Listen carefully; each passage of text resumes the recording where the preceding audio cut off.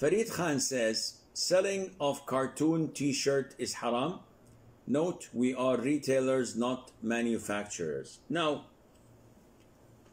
wearing Mickey Mouse or a picture of uh, Superman. These are cartoons, but they are drawings.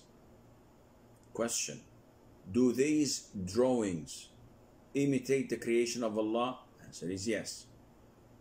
Question Do they prevent angels from entering the room they're in? Answer is yes.